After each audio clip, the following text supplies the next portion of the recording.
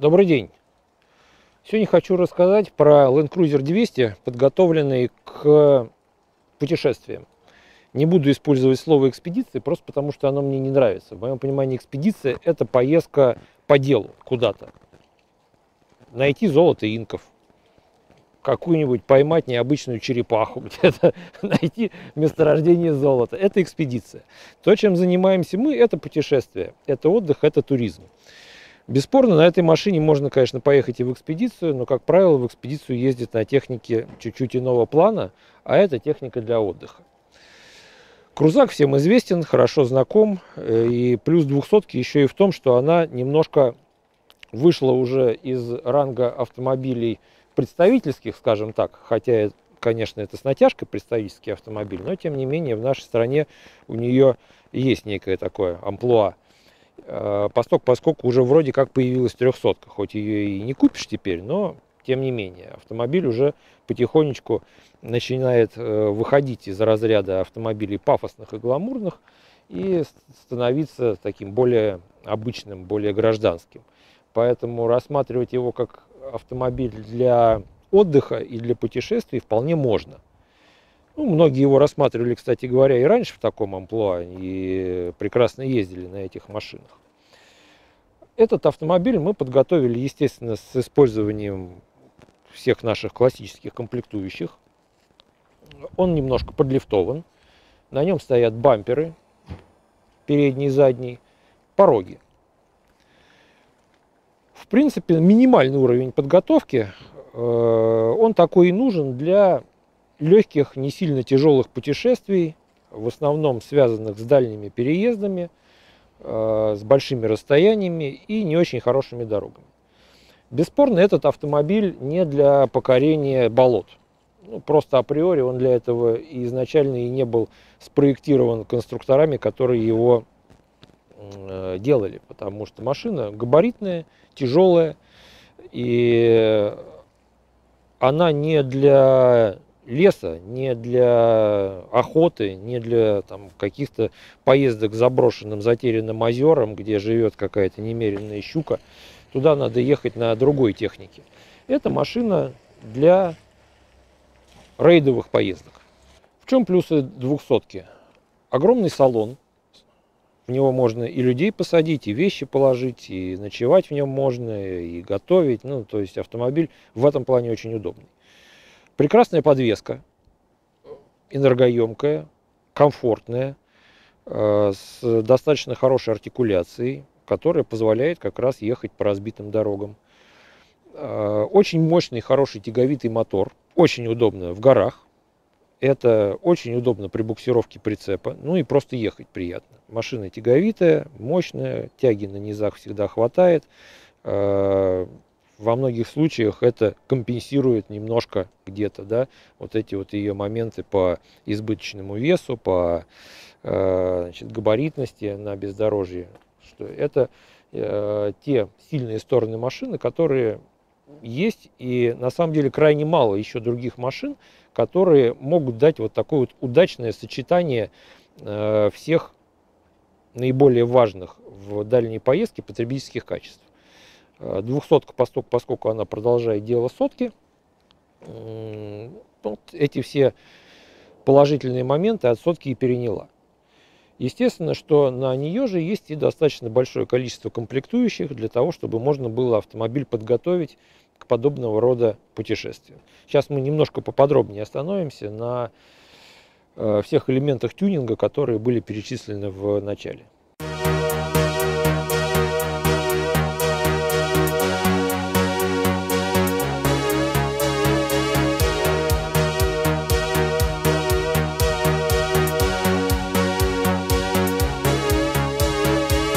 Я считаю, что железный бампер на машине, которая съезжает с асфальта, ну или даже просто ездит в какие-то путешествия, необходим.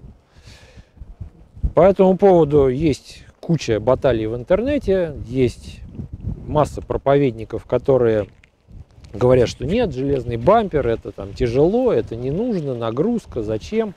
На самом деле нужен он. И я с железом езжу уже там, больше 20 лет. И на каждую новую машину я все равно ставлю железо. И делаю это по одной простой причине. Э, это повышает э, способность автомобиля, даже, наверное, не способность, это повышает живучесть банально машины в поездке. То есть у меня были там некоторые ситуации такие с бамперами, когда они просто-напросто спасали машину фактически. Например, в зад въезжает легковушка. У меня только разбивается пластиковая розетка фаркопа. У легковушки нет морды, естественно. У меня после этой аварии, ну ничего, то есть бампер даже не сыграл на крепежах. Я там, потерял какое-то время на ГАИ, но дальше я продолжил движение. Если бы не было железного бампера, все, поездка на смарку, потому что у меня просто перестали бы закрываться, открываться двери багажника. До свидания. Такая же ситуация могла бы быть, если кого-то долбанул кто спереди, да, железный бампер спасает. Какие-то наезды на пни, камни и прочую дребедень, которая живет в траве и которую просто банально не видишь, когда там задом сдаешь или где-то разворачиваешься, а, это регулярно. Железо от этого спасает. Пластик колется. А с пластиком у нас была, например, относительно недавно показательная в этом плане ситуация с автомобилем Mitsubishi L200. Взяли на тест новую Эльку предыдущего поколения машины, не та, которая выпускается сейчас. А поехали пофотографировать. Дорога в песчаном карьере.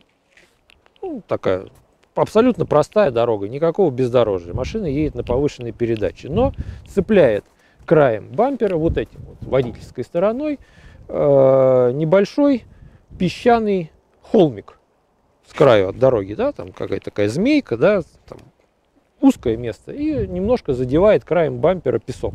Просто песок. Да, плотный слежавшийся, но это был песок.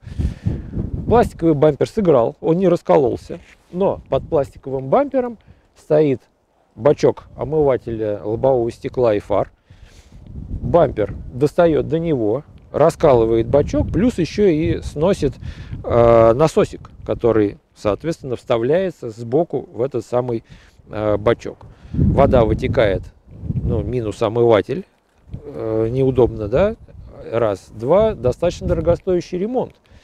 То есть нужно снять, поставить бампер, плюс поменять бачок, плюс поменять моторчик достаточно нарядно по деньгам. Я думаю, там пол бампера окупается сразу, только одним таким ремонтом. Ну, не говоря уже о том, что если вы, например, где-то на бездорожье, то остаться в такой ситуации без омывателя лобового стекла, это крайне неудобно. Да? Там ехать все время поливая бутылочкой после каждой лужи, ну, зачем это?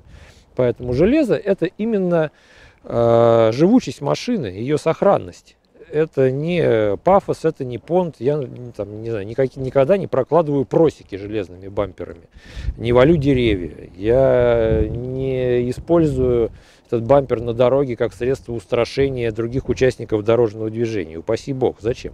Это именно в первую очередь собственная безопасность и повышение живучести автомобиля. Подробнее немножко о бамперах. Бампера Риф это на данный момент на рынке, я думаю, что самое лучшее предложение из всего того, что есть. Ну, производится, во-первых, уже очень давно. Да? То есть в целом Риф делает э, железные бамперы уже 20 лет. Это приличный срок, это достаточно большой опыт, это продуманные конструкции, уже известно, где усилить, где, наоборот, можно сэкономить металл и сделать э, сказать, попроще конструкцию, за счет этого уменьшить вес изделия. Это хорошее качество швов, это и, и э, качество изготовления самого бампера и его внешний вид. То есть вот по совокупности, если еще сюда и включить цену этого бампера, ну это вообще я считаю, что оптимально. Э, на данный момент на рынке. А по качеству изготовления, на самом деле, если сравните, допустим, даже с э, любимым многими АРБ, ну, рифт будет во многих случаях получше на самом деле. Бампер крепится к раме, мощные крепежи хорошие на раму идут, буксирные проушины на бампере, соответственно, тоже они напротив этих же крепежей, которые идут к раме, поэтому Э, ими можно пользоваться без опаски, что бампер съедет э, куда-нибудь в сторону. С рифом такого не бывает. Защитка которая тоже идет под бампер. И, соответственно, она закрывает э, здесь нижнюю часть, где стоит радиатор. И плавно переходит дальше в защиту уже э, картера переднего моста, двигателя. То есть автомобиль получается э, хорошо закрыт по передку. Какие-то наезды на пеньки, камушки, они теперь уже не страшны. Можно ставить защиту дальше – туда, продолжать ее на днище, на коробку, на раздатку и получить так называемую лыжу вообще. Бампер э, спереди, здесь боковинки прикрыты небольшими металлическими кожухами. Ну, это, во-первых, эстетика, там ничего не торчит. Во-вторых, как раз прикрывает там все потроха, которые внутри. Есть место под лебедку. На данный автомобиль лебедку мы не ставили, такой задачи не было, но лебедка ставится без проблем, да, под нее есть место, ее можно в любой момент установить. Дополнительная оптика штатно стоит в бампере, оптика светодиодная, низкое энергопотребление, светит достаточно неплохо. Есть места под дополнительные фары, здесь же на бампере можно подобрать, поставить. В принципе, хорошая, нормальная, удобная, гармоничная такая вот конструкция. И самое главное, что это силовая вещь. То есть она может работать, это не просто пафос. Относительно веса, ну, слушайте, машины весят 3 тонны. Вот просто обычные, безо всяких, там, на, на стандартных пластиковых бамперах. От того, что мы добавим сюда еще 55-60 килограммов э, железного бампера, ничего особо не меняется. Поверьте, я ездил на этой машине э, с родными пластиковыми паперами и ездил с железом. Ну, сильного изменения нет. Да, понятно, что на морде повис еще дополнительно бампер.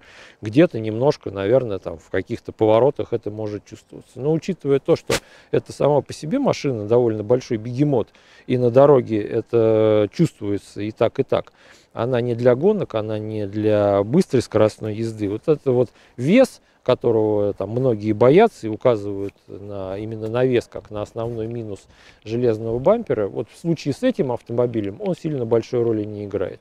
Если мы бы готовили какой-то болотоход, для которого действительно реально каждый вот 10-20 килограммов лишнего веса это э, прямо беда, то тогда да, вопросов нет. Там действительно можно было бы говорить об экономии там, на каждом килограмме. А здесь в этом случае никакого ужаса, вот эти вот дополнительные килограммы ни на морде, ни тем более на задке машины вообще нет в этом ничего страшного.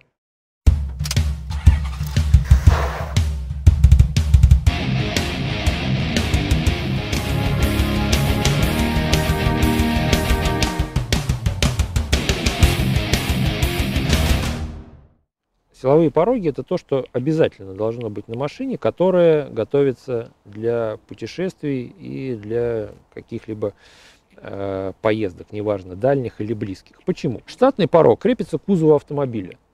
И он выполнен из алюминия, достаточно тонкого. Он профилирован, имеет определенную жесткость, но этой жесткости хватает только на то, чтобы выдерживать вес человека, не более того. Э, если э, вы касаетесь так, ну, наезжаете на даже вот какой-то снежный сугробчик, то алюминий гнется. Причем довольно сильно. А я уже не говорю о наезде там, на пенек или э, на край колеи, например. Конечно, пороги гнутся сразу же. А, если задеть посильнее за какое-то там препятствие, то можно и погнуть и крепежи, которые э, идут уже к кузову, или вообще их снести. Силовой порог крепится к раме. Это его основной плюс по отношению к, вот, ко всей вот этой вот, значит, штатной бутафории. То есть, если этим порогом, например, ударится о камушек или о пенек, ну, будет вмятина – он немножко погнется, да, он там сколится, краска на нем, но он не погнется весь, он останется порогом. А, и что самое главное, что а, он не потеряет своего функционала, в отличие от штатного порога. А функционал у него достаточно серьезный, помимо всего прочего, потому что он защищает боковину автомобиля.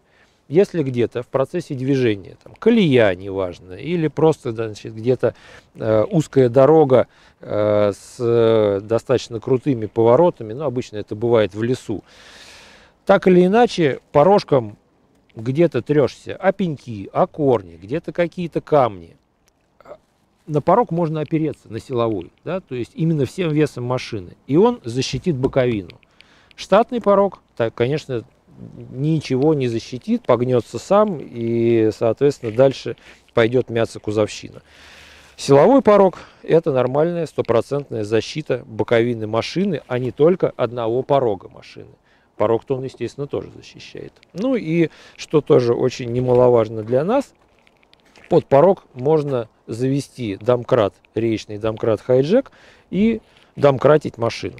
Это нужно и где-то на бездорожье, если сел, застрял, там лебедка ее нет, или она не работает, или в принципе нужно поднять машину, потому что она села на какой-то пенек и тащить ее лебедкой бесполезно, ее надо именно с этого пенька снять или с камня. А в этом случае нужен хайджек. И хайджек можно завести под порог. Здесь под него есть прям специальные места. Он туда ставится и машина поднимается. Порог немножко играет на крепежах в процессе подъема он немножечко приподнимется. Но когда машину опустите, это все выставится на свои места и все будет работать нормально опять по-прежнему. То есть ни, ни, никаких изгибов на пороге не останется. А, ну, я, например, таким образом даже колеса меняю. Я штатный домкрат в машине и не доставал никогда для замены э, колеса пробитого, все время поднимая ее хайджеком. Порог в этом плане, конечно, э, великолепная вещь. Э, ну, машина тяжелая, всю ее за одну сторону, конечно, поднимать тяжеловато, а машины полегче зачастую можно поднимать прям целый бок автомобиля, ну, например, когда где-нибудь сел в поле, зацепиться не за что, да, там якоря нет, ну, поднял, поднакидал что-нибудь под колеса с одной стороны, с другой стороны и поехал. То есть это обычная классическая история. Поэтому порог это очень хороший, важный и нужный девайс. Ну, плюс ко всему, на мой взгляд, он достаточно красив сам по себе. Задний бампер риф. В данном случае это бампер без калитки. Есть бампер с калиткой под запасное колесо. А, этот бампер такой более лайтовый вариант. Для бездорожья все-таки я считаю, что удобнее бампер с калиткой. Потому что доставать запаску висящую вот здесь вот, где-то в грязи, это крайне неудобная история. Ну, плюс ко всему, э, очень часто на двухсотке ставят дополнительные баки. Бак ставится как раз на место запасного колеса. Это крайне удобно, и он получается там довольно вместительный. Ну, в зависимости от того, насколько он выпирает вниз, э, там возможен и разный литраж.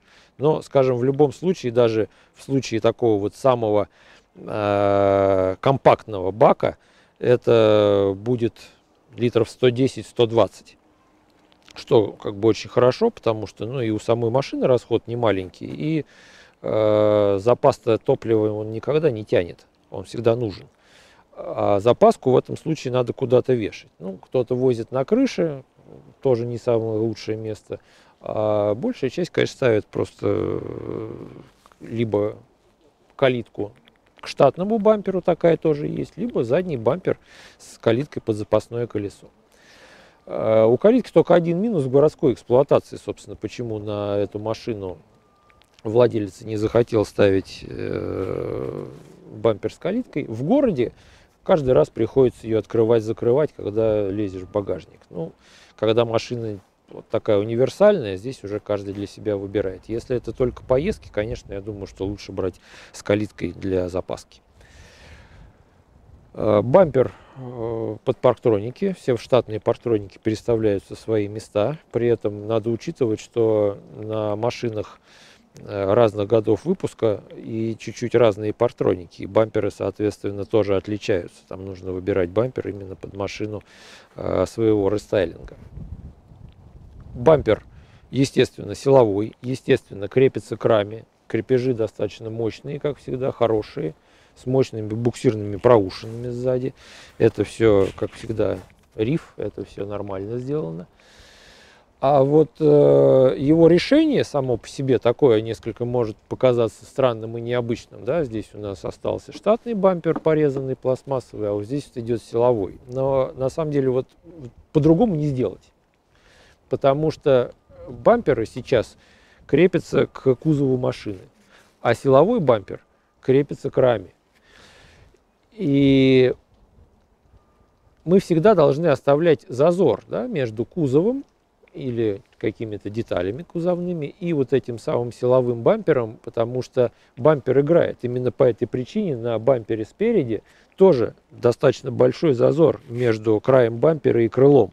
Очень часто бампера ставят прям вплотную к крылу, ну, дескать, не нравится большая щель, но без щели нельзя, потому что иначе бампер будет бить по крылу и его мять. Здесь, если бы мы делали силовик целиком, прямо вот, вот так вот, как он идет, да, вот эту вот всю часть бы пытались выполнить из железа, то тогда вот здесь надо было бы дать достаточно большой зазор, причем ну реально очень большой, потому что это огромный бампер по ширине, он будет играть на раме, да, кузов относительно рамы играет, бампер играет относительно рамы, и на таком плече, на такой длине зазор пришлось бы оставлять, ну, 25, а то и 30 миллиметров для того, чтобы бампер вот в том, в дальнем своем крае, около арки крыла, не доставал до него.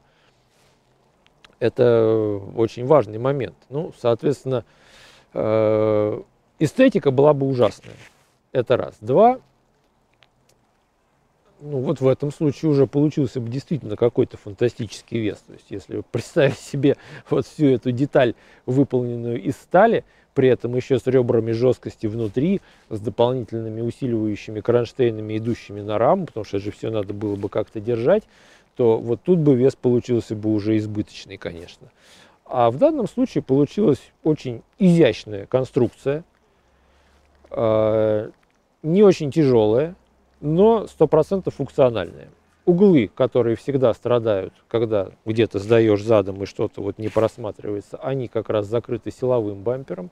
Задняя часть, ну та же самая история, либо какие-то э, тычки назад, если там сдаешь куда-то, либо если кто-то приезжает взад, задняя часть вся перекрыта. Э, фаркоп, соответственно, мы имеем здесь, да, под э, вот этой вот заглушечкой резиновой идет э, квадрат под съемный фаркоп. Ну, розетка, под нее здесь есть штатное место, тоже она сюда устанавливается. То есть полный функционал э, силового бампера здесь есть. При этом разумный вес, отличный совершенно внешний вид, да, сохранены штатные фонари, все на штатных местах, все работает как надо, выглядит классно, э, зад защищает то, что нужно, прям на все сто процентов. Хорошая, нормальная, функциональная и очень эстетичная вещь. Отдельно хотелось бы тоже обратить внимание на качество изготовления. Вот сварные швы, например. Да? А, гибы очень аккуратные, да, с хорошим радиусом. Боковые части, как выполнены. Отштамповка под задние фонари. Эстетика великолепна. Ну и прочность тоже соответствует, потому что бампер, если он надевается на э, заднюю часть рамы, на заднюю поперечину, которая выдается вперед у автомобиля достаточно сильно, и у него очень мощные крепления. То есть он крепится здесь, крепится к лонжеронам рамы более подробно. Это все можно посмотреть у нас э, на видео по установке заднего бампера. Там прям видно, как он ставится, как он крепится. То есть это прям моща-моща. Ну и, соответственно, сами крепежи э, к раме, здесь вот они очень, во-первых, большие по площади, во-вторых, очень мощные. То есть там много точек крепления, и бампер, конечно, реально силовой. Даже если где-то на перегибах местности им там чертить по там, камням даже, не то что по земле, абсолютно ничего не будет. Все будет работать как надо. Ну и в заключение пара слов про подвеску. Подвеска это очень и очень важная деталь в подготовленном автомобиле. Ей нужно уделять весьма много внимания. Потому что это не только так называемый лифт, хотя опять-таки применительно к передней независимой подвеске лифт это не очень, как бы, конечно, корректно. А, не очень она, прямо скажем, там лифтует. Ну, так уж повелось это называть лифтом, пусть будет лифтом. Это, помимо всего прочего, безопасность, потому что подвеска напрямую влияет на управляемость автомобиля и курсовую устойчивость автомобиля. Соответственно, когда у нас груженная машина, тяжелая, которая едет по плохой дороге, у нее должна быть очень и очень хорошая подвеска, чтобы она могла ехать по этой дороге. Во-первых, ровно, есть чтобы ее не переставляло, не кидало, чтобы она не слетала с этой дороги в поворотах. И во-вторых, она должна ехать комфортно. То есть люди, которые едут в машине, не должны там стучать зубами, а они должны наслаждаться окружающим пейзажем, получать удовольствие от езды. За все за это отвечает подвеска, поэтому подвеску, конечно, тоже нужно менять. Особенно если на машине стоит какое-то дополнительное оборудование. Штатная подвеска 200 настроена, э, в общем-то, неплохо изначально, но, конечно, она настроена в основном на комфорт, на такую вот вальяжную, неторопливую, плавную езду. Она очень неплохо идет, она проглатывает точно так же неровности, но машину сильно раскачивает. Э, скорость лучше держать, конечно, не очень высокую, потому что может где-то ее и подкинуть, и переставить. Ну и что самое главное, что, конечно, если подвеска э, давно не менялась, то она просто устала сама по себе. Ее э, способность работать то есть амортизатору нормально гасить колебания, пружинам отрабатывать нагрузку, она уже упала по сравнению со штатной подвеской. Поэтому ее так или иначе все равно нужно поменять. А, соответственно, поставив железные бамперы, если мы ставим еще плюс там, какой-нибудь добак, там, палатку на крышу, то есть это все дополнительная нагрузка. То, что лежит на крыше, оно же еще и плюс работает на всю вот эту вот раскачку. Естественно, усиленная подвеска. Здесь стоит подвеска риф жесткость B, так называемая средняя жесткость, не максимальная, именно из-за того, что машина не особо сильно будет загружаться. То есть данная э, подвеска хорошо э, компенсирует вес установленных бамперов, позволяет подзагрузить багажник, посадить кого-то там на заднее сиденье, и машина будет абсолютно нормально, хорошо, ровно ехать. Если же машина будет нагружена еще сильнее, ну, скажем, там как раз то, что я говорил, док-бак, еще там какой-нибудь органайзер в багажнике, палатка, лебедка спереди, тогда есть смысл ставить уже категорию С. Здесь стоит бэшка, прекрасно работает, машина отлично рулится, хорошо идет по разбитой дороге. Она чуть-чуть приподнялась, естественно, если на нее посмотреть сбоку, то машина стоит выше, то, что нам и нужно. Ну, колеса стоят 33, они могут влезть, в общем-то, и без усиленной подвески. Там никакого лифта не нужно, чтобы поставить 33 колеса. Но э, в данном случае, так сказать, вся машина, она немножко приподнимается над э, дорогой, над землей. Соответственно, мы получаем чуть больше просвет под э, днищем под рамы автомобиля, лучшие углы въезда-съезда. Ну, общий вид, конечно, гораздо более гармоничный. Ну и увеличение дорожного просвета спереди, поскольку, у нас подвеска независимая. Сзади мост, и там дорожный просвет набирается только за счет диаметра колеса. А спереди, да, за счет немножко подъема подвески, рычаги вниз опустились, машина приподнялась, дорожный просвет увеличился. Поэтому э, подвеска это очень хорошо. Да, усиленная подвеска здорово э, помогает автомобилю который будет ездить где-то вне асфальта. Это прям вот обязательно надо делать. Даже если не ставится никакое железо на машину, а предполагается просто езда, то все равно подвеску есть резон поменять. Подводя небольшой итог, надо сказать, что это вот минимальный достаточный уровень подготовки автомобиля для того, чтобы можно было э, ездить ну, по достаточно тяжелым дорогам без экстремизма, с хорошим уровнем комфорта.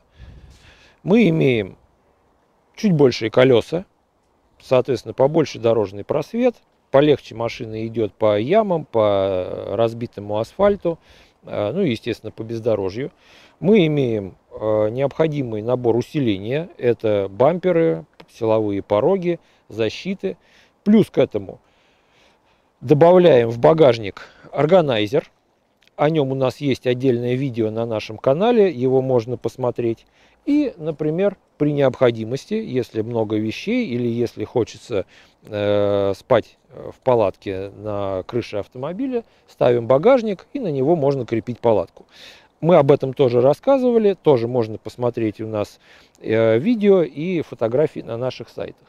И мы получаем абсолютно сбалансированный, э, удобный в эксплуатации автомобиль с большими возможностями на бездорожье, с теми же самыми, по сути, оставшимися, сохранившимися и в ряде даже моментов улучшившимися э, характеристиками на дороге, потому что автомобиль, например, менее валкий становится, да, более энергоемкая подвеска у него.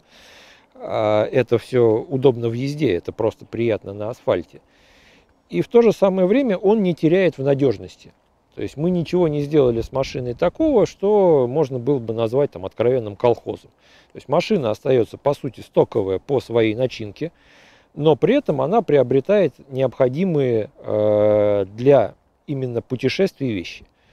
И мы сохраняем ресурс машины и ее надежность, получаем то, что нам нужно по подготовке, и никакого колхоза автомобиль абсолютно ремонтопригоден. Даже если вы сломались и поломались, едете в обычный тойотовский сервис в любом месте и все чините. А, это, наверное, в моем понимании оптимальный набор а, для туризма.